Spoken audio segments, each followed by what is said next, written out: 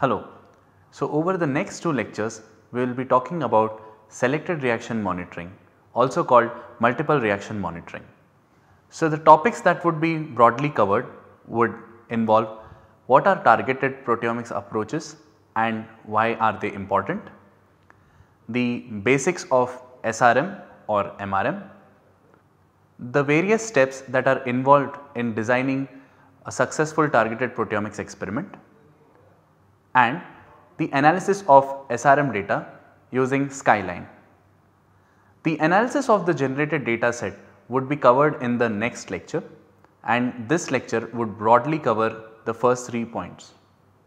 So, let us now dive deep into what are targeted approaches and why do they play such an important role in the field of proteomics.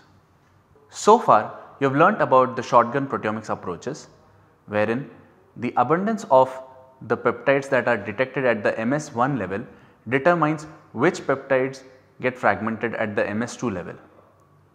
Upon fragmentation at the MS2 level the identity of the peptide can be known. Subsequently this, these are mapped to the proteins they come from. So it can be argued that the shotgun proteomic approaches largely rely on the abundance of the peptides. So, one inherent problem of the shotgun approaches has been that the peptides which are of low abundance usually go undetected. Hence, the identity of all the proteins may or may not be possible using shotgun approaches. So, just to give an idea, this is how the shotgun approach looks like. You have different targets. One of the targets which bears the red dots is the actual target which you wish to hit. But you may or may not always succeed in hitting this target and more often than not you are likely to hit all the other targets along with the target of interest. This pretty much sums up how a shotgun approach works. On the contrary, the targeted approach relies very heavily on the information of the protein and its peptides and a few other parameters about which we would discuss in the slides to come. It is to be noted that the targeted approaches are very specific and hence have become the choice of interest for most proteomics labs around the world. The targeted approaches are largely hypothesis driven. So, one can just look at those proteins of interest on which the hypothesis has been built upon. However, both the shotgun approaches and the targeted approaches are equally important and have played an important role in the development of proteomics. So, while we do not advocate any one particular approach over the other, it is to be noted that the shotgun approaches have long served the proteomics field in the discovery phase whereas the targeted approaches are now increasingly replacing the conventional validation approaches which involve the use of antibodies like ELISA or western blotting. So, this is again the overview of the shotgun proteomics workflow. I am sure that by now you are very well acquainted with the steps involved in a shotgun experiment, but I would quickly walk through the major steps that are involved. So, we start with say the protein lysate on which the experiment is to be performed and then using a protease we digest these proteins to give rise to peptides. The digested peptides are then separated on column and using electrospray ionization the peptides get charged. So, by now you must be aware that only charged species get detected inside a mass spectrometer. So, ESI plays a very crucial role in mass spectrometry since it imparts charges on the peptides enabling them to fly inside a mass spectrometer. The next step is the identification of the peptides and database searching. This is the conventional shotgun proteomics workflow. So, the targeted proteomics workflow follow pretty much the same steps except for the fact that the mass spectrometer is instructed to monitor specific peptides and their resulting fragments. The slide that you see currently differs from the previous slide in the fact that the instrument here has been much better instructed to selectively monitor only a few peptides. So, before we look at the principle of selected reaction monitoring and how it works, I would want to spend some time on the different targeted approaches that are known to us. So, as you can see in the slide, there are three main branches for the targeted approaches wherein the first is selected reaction monitoring, the second is parallel reaction monitoring and the third is SWATH MS. While the SWATH MS is beyond the scope of this lecture, this topic has been extensively covered by Mr. David Campbell from Institute for Systems Biology. The selected reaction monitoring approach is also called multiple reaction monitoring. This technique involves the use of a triple quadrupole mass spectrometer. The first quadrupole and the third quadrupole of the instrument act as mass filters allowing us to monitor a peptide and its corresponding fragment alone. The parallel reaction monitoring approach is an advancement over selected reaction monitoring. Contrary to the use of a triple quadrupole mass spectrometer as seen in selected reaction monitoring, the parallel reaction monitoring approach involves the use of mass spectrometers with very high resolution. So, these mass spectrometers usually contain Orbitrap or the time of flight mass analyzers. So, it can be argued that parallel reaction monitoring approaches will offer much higher resolution as compared to selected reaction monitoring. So, the parallel reaction monitoring approaches are also called MRMHR or SRMHR with HR standing for high resolution. So, we now look at the crucial steps that are involved in designing a targeted proteomics experiment. So, I would like to spend some time on this slide because it is very crucial to make a note of all those parameters that one needs to optimize for the success of a targeted proteomics experiment. Since the targeted experiments are usually hypothesis driven or the researcher has an idea as to the proteins that he or she wishes to monitor, the target proteins, the information on the target proteins plays a very important role. The sample processing involved in a targeted proteomics experiment is no different from that seen in a conventional shotgun experiment. The proteins are first digested using a protease and this would result in the formation of peptides. The digested product would now contain peptides corresponding to the proteins of interest. A few of these peptides may or may not be proteotypic or quantotypic.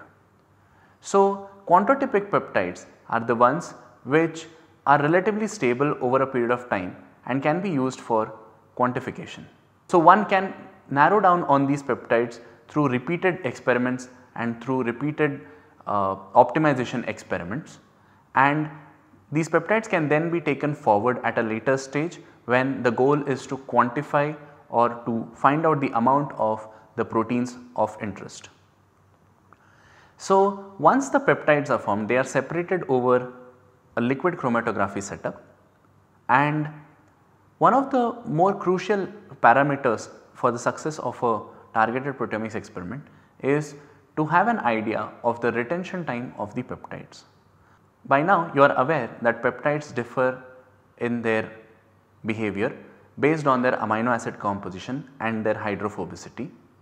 So, it is very much likely that the peptides elute at different times from a column. So, one needs to have an idea of the LC gradient that is to be used for efficient elution of the peptides of interest. The next step is the parameter called collision energy. Collision energy is that energy which is needed to break the bond between two amino acids. So, on applying correct collision energy the peptides give rise to different fragments. So, one needs to have a very clear idea of the collision energy that is to be used to fragment the peptide of interest thereby giving rise to the different fragments which will then be monitored in the mass spectrometer. So, as you can see from the slide that one needs to have an idea of the precursor mass to charge ratio and the fragment mass to charge ratio.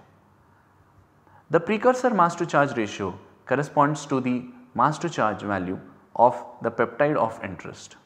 Subsequently, the fragment mass to charge corresponds to the mass to charge of the fragment that results from fragmentation of the precursor peptide.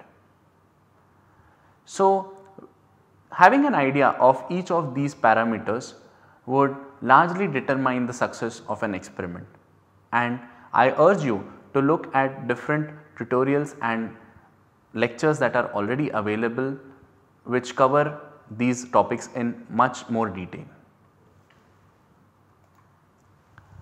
We now see the principle of selected reaction monitoring. So, as you can see from the slide selected reaction monitoring uses a triple quadrupole mass spectrometer and in this current slide you can see that there are 3 quadrupoles, quadrupole 1 is a mass filter and quadrupole 3 is also a mass filter. Quadrupole 2 on the other hand is a collision cell where the fragmentation of the peptides takes place. So, the quadrupole 1 here has been assigned a particular mass to charge ratio.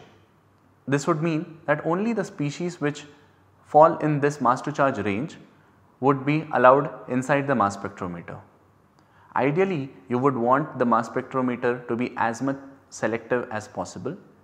So, the success of the experiment would largely depend on each of the parameters that were discussed in the slide before. Once the peptides have entered into the collision cell, they will get fragmented based on the collision energy value that has been already provided to the instrument. This fragmentation would randomly result in the formation of different fragments and it is at this stage that the third quadrupole acts as a selective mass filter again wherein it would let through only a few fragments to pass through. So, it is to be noted that the method file that is provided to the instrument for acquisition contains all the relevant information and that is how the instrument is able to monitor the peptides and the fragments of interest. So, to sum up this slide both the quadrupoles of the instrument act as mass filters thereby filtering out all the other unwanted peptides and the fragments. And an important term that needs to be discussed here is the term transition. So, you would come across this term very frequently when you read papers on selected reaction monitoring and a transition is basically a quadrupole 1 to quadrupole 3 pair. So, the, the value of quadrupole 1 and quadrupole 3 for a peptide and its corresponding fragment is called a transition. So, let me just quickly walk you through an example to help you understand this concept better. In this slide you can see that there are 3 peptide sequences and the table contains the information of the peptide that is the peptide sequence. It also contains the quadrupole 1 mass to charge and the quadrupole 3 mass to charge it also contains information of the fragment which results after cleavage of the peptide bond, the collision energy information and another column called the dwell time about which we will talk in a few minutes from now. So, as you can see each of these 3 peptides has different values fed in the table. So, let us consider the first 4 rows of the column wherein we are talking about peptide 1. So, as you can see the quadrupole 1 mass to charge for this peptide is the same in all the 4 rows. However, what is different is the quadrupole 3 mass to charge which means that while the quadrupole 1 is selectively allowing only the one peptide of interest. So, the quadrupole 3 has a job to let 4 different fragments arising from peptide 1 to pass through. The collision energy of this peptide is the same and the same would apply for all the other peptide sequences in the table. Subsequently, the table also contains information of two other peptides wherein the quadrupole 1 and quadrupole 3 charges have been mentioned and their respective collision energies. Now the time that the instrument takes to monitor a transition in a particular cycle is called dwell time. So, as you can see each of these fragments has been acquired over a period of 100 milliseconds. So, the instrument does the job of acquiring individual fragments for peptide 1, then there is a brief pause time after which it starts collecting the information for peptide 2, again a pause time and then it would collect the information of peptide 3. So, the sum total of all these dwell times that you see in the table would give rise to a cycle time. The cycle time is that time which the instrument needs to collect at least one data point for every transition that is a part of the transition list. So, it is safe to assume that the data points would be picked largely depending on the chromatographic behavior of the peptide of interest and the end result would be a chromatogram as you see on the slide. So, this chromatogram is formed by joining all the data points that the instrument was able to collect over the retention time of the peak. With this we conclude the basic principle and the steps that are required to design a selected reaction monitoring experiment. In the next slide we will look at a data that was generated in the lab and we would use the popular software Skyline to analyze a data set. Thank you.